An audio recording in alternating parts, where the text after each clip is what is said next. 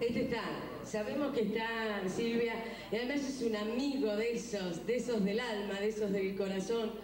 Un amigo que cada vez que me toca nombrarlo digo que le debo esto, le debo este micrófono, le debo este escenario, lo he contado muchas veces.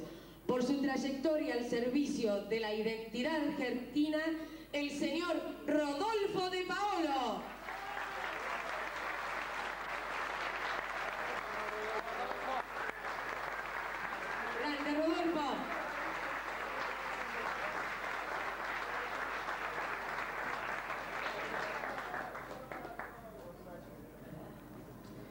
No lo he visto.